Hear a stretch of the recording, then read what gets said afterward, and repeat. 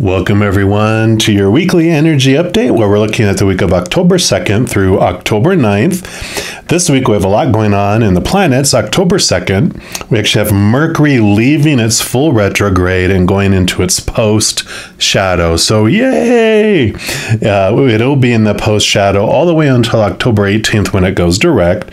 And it is a period of reviewing. Now, last week's energy update, we did already talk about the Mercury retrograde and this post shadow period that's starting to come up. So, if you want to find out what you learned around communication during this last Mercury retrograde, check out last week's video because it is going to give you information that'll last through October 18th.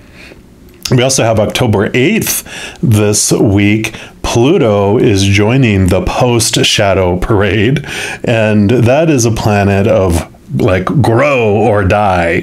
It's the death, the rebirth, and it's the energy of transformation, like the phoenix that's rising from the ashes. That's the main energy we're going to look at for this week. Although we also have the next day on October 9th is going to be a full moon in Aries, but we'll cover more of that in next week's energy update since that will be from October 9th through the following Sunday as well. So, because we're going to be looking at the Pluto post shadow energy, you know, Pluto retrograde was a time to reflect on what ended, uh, what burnt down, and now we're starting to make our way up and out of those ashes. And so for this reading, we're going to ask what does the spirit realm want us to know about our rebirth? What's this new creation that we've become? So, of course, we have readings for each individual zodiac sign, and we're going to jump into yours right now. All right, Cancer signs, this is your weekly energy update, and we're going to start off here by pulling a card from the Messenger Oracle. And any of the cards I use in a reading, I do list in the description box below. So if any of them catch your eye and you want them for yourself, you know where you can pick those up.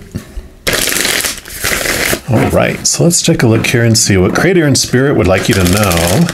Actually, they do want this one right here. uh, so, this is what they want you to know, though, about your rebirth and about just what creation that you have come out of this retrograde and that you're going to be reflecting on during the post shadow. And you have Embrace the Masculine. Powerful card there. And of course, we all have divine masculine and divine feminine within us, no matter how we uh, identify. So, in this case, this is the powerful side, the manifest, manifesting side, uh, that power. And it says, within ourselves, there are two aspects to our nature the masculine and the feminine. Here in the present, you can Im- embrace the masculine aspect of your nature and let it guide your steps. Now is the time to be assertive, to act with authority, and stand up for both yourself and your truths. Fight for what you believe in. Do not allow others to tell you that you must not or cannot. But remember, while you allow your masculine self to be dominant, you need to temper your assertiveness and determination with gentleness and compassion. Yeah, so standing up for your truths um, with love, right? It's not about being mean and telling people that they're wrong and their truths are not as true as yours and all that. It's about just in a very loving, strong way, just, you know, standing up for what you believe and not feeling like you have to take on everyone else. It doesn't mean you have to get into arguments or, you know, even discussions. It's just about just realizing that you get to choose what you want for your life. And a lot of it comes from this inner confidence there. We'll see what else they want you to know too with these Earth Magic Oracle. See what else they'd like you to know. So don't be a doormat, pretty much is what it's saying. You don't have to give in to everyone else. All right. So what else for our cancer signs, please? Which is very, now I'm thinking about it, is, is very fitting for cancer signs because you are ruled by the moon, which is Mother Luna. So you have a very strong, nurturing side of you, which can have you become self sacrificial and, you know, give in for, to everyone else, doing what they want out of your huge, huge heart. But this is like you standing up for you right now, which is great. And you have Meadow with vulnerability. So let's take a look here. I love both of these green. There's so much same coloriz colorizations there. So let's see what comes in here with Meadow.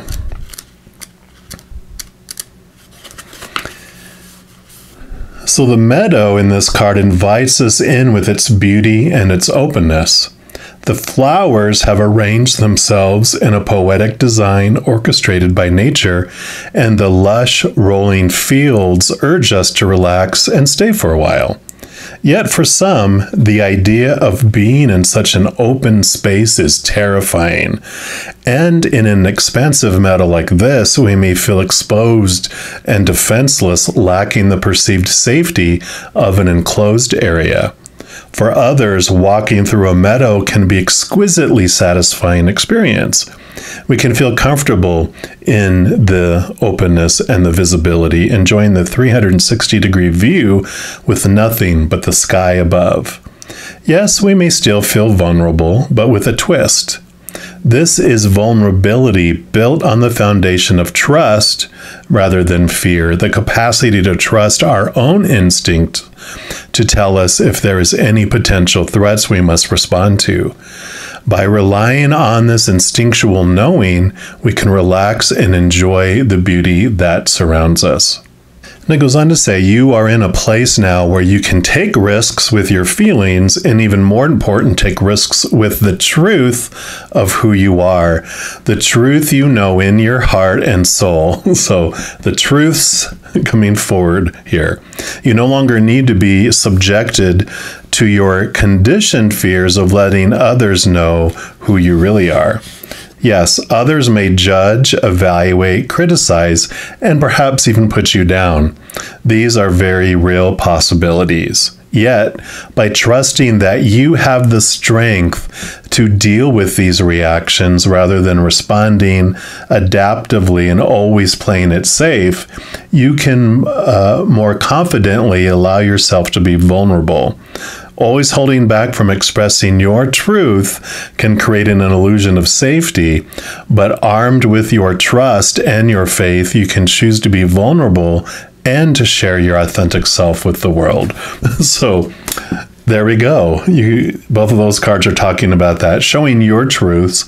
Uh, this is about being vulnerable and sharing your truth, but also having the strength behind it that you don't feel scared to do that. So, perfect cards for one another here.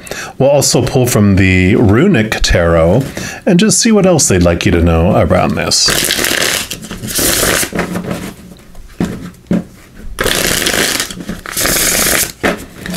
Okay, one more time. All right. So, what else for our Cancer signs, please? What else would you like them to know around this energy? Okay. I do want to that one, that one, this one. I do want this top one, and this bottom one. All right. So we'll start with this one on this side, and you've got the Eight of Cups. Yeah. So you are ready to leave behind the emotions that no longer serve you. The cups, of course, are emotions. The number eight is about movement up. You're ready for a next level. Actually, the nine of cups after this is a wish fulfillment card. So the eight of cups is you're ready to leave behind emotions that no longer served you. Those emotions of fear that kept you feeling small and hiding the truth of who you really are. You know, being afraid of that, all the stuff it talked about here, the rejection, the judgment, the blah blah, blah, blah, blah, blah. You have this confidence and the strength within you that really came out during this Pluto retrograde that's allowing you to move on, move forward, and leave those behind. They served their purpose for a time because you wanted to experience what it felt like to be small and restricted and, and fearful, but you've obviously had enough of that and you're ready to move to this new level. And then you have the world card. Yeah, speaking of, the world card is the ending of major cycles and the beginning of a new adventure. So, exactly what we've been talking about here. You're ready to end that cycle of feeling small and and for not allowing yourself to shine and to continually sacrifice yourself for others. You're allowing yourself to share the beautiful, powerful you, which in the end, you know, the greatest gift you can give the world is a full, healthy, overflowing you. But if you're hiding yourself, you're not doing that. So you're bringing us the best gift you could anyway, not trying to fit in and be that person you think you're supposed to be, but being the true you for us. And I love that. Then you have the Page of Swords. Swords are your thoughts, your beliefs, your mindsets, your attitudes. Pages are another, you know, in addition to the eights, pages are about movement up to a next level. And the swords, this will be new thoughts, new beliefs that you're bringing in here, and new ideas, new messages, new communication coming in as well. Because the Ace of Swords, this huge Ace of Swords that she has here in her hand, that allows you to connect to the capital T truths of the higher realm, which include the truths here that I was talking about of who you really are and allowing you to cut away those old thoughts and those old beliefs that no longer serve you as well. So you are making these, you know, emotions and stories and thoughts that you're leaving behind to share the true you and experience this whole new adventure in a different way. Yeah, because here you have the 10 of Wands. 10 is endings and new beginnings. Wands is your energy and your drive, your ambition, your inspiration.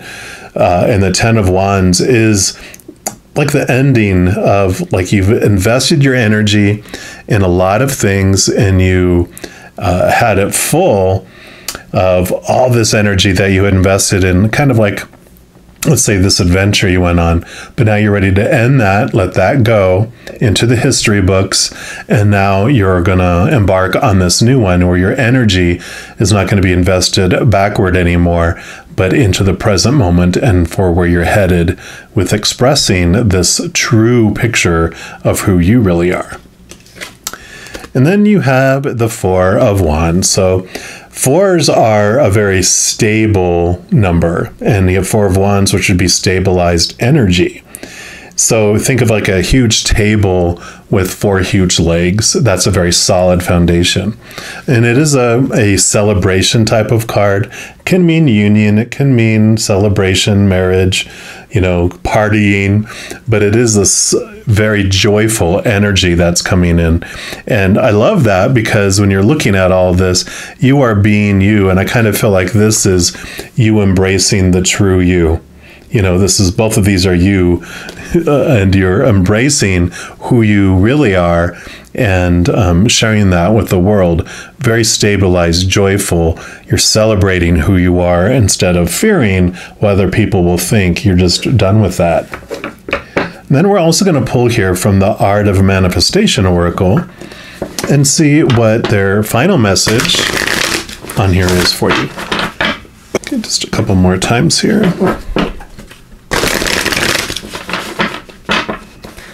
And one more.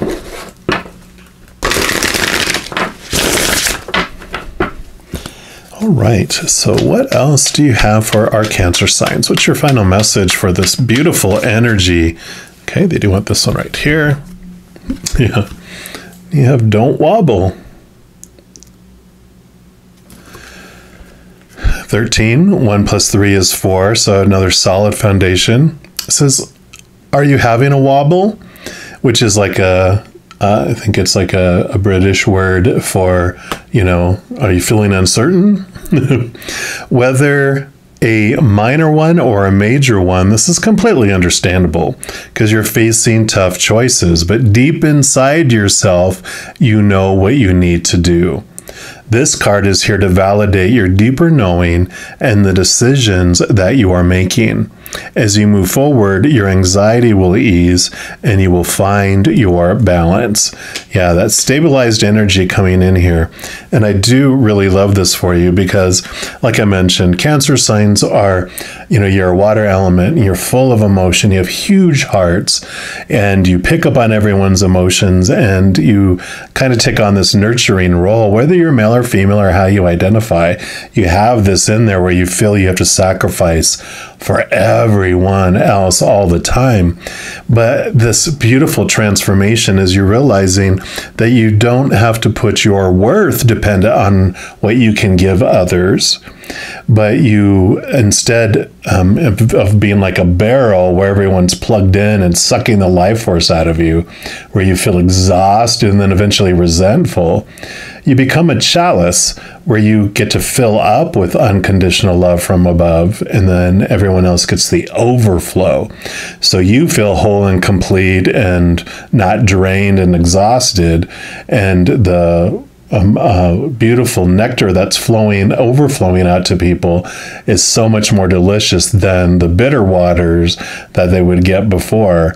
So, you know, you're going to see a change in how you give and that you allow yourself to give to yourself first. And I feel like this is what you've been um, going through is this beautiful balance between being that chalice, but also being very, uh, you know, having boundaries and putting yourself first and not feeling guilty about it.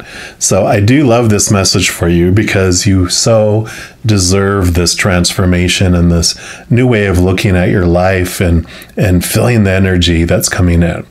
Now, if you are looking for more messages of love from above, in addition to these weekly energy updates, I also put out monthly readings for each individual zodiac sign and a few other types of videos throughout the month. So if you don't want to miss out on any of those and get notified immediately when they become available, if you give this video a little thumbs up by clicking the like button, also, clicking on the subscribe button, which gives you access to the notification bell. When you go in there, there's an option for all. And if you click on there, then you'll be notified of any videos that come out on this channel. Doing those things also helps spread the Zen love and it helps my channel grow in significant ways. Because when you like or share one of my videos, comment on one of my videos, and uh, subscribe to my channel, doing those things makes the YouTube algorithm so giddy happy it wants to automatically share the videos of my channel with other people as well. So if you feel inspired to do any of those things, please know I am very, very grateful for that. Also, these are general readings, and if you're looking for even more specific information and answers for your specific life, I do offer personal readings. And in fact, my recorded personal readings have a sliding price scale. So that gives you the opportunity to choose between uh, three different price points for each individual type of uh, recording, uh, personal reading, and that offers that flexibility. So if you're interested in any of that, you can check it out in the description box of this video below. All right, Cancer signs, as you go through this wonderful journey, please know every second of every day of your life that you are unconditionally loved by the creator of all things. And of course, I love you too. Have an amazing week. I'm sure we'll be talking very soon. In the meantime, you hang in there and you take care.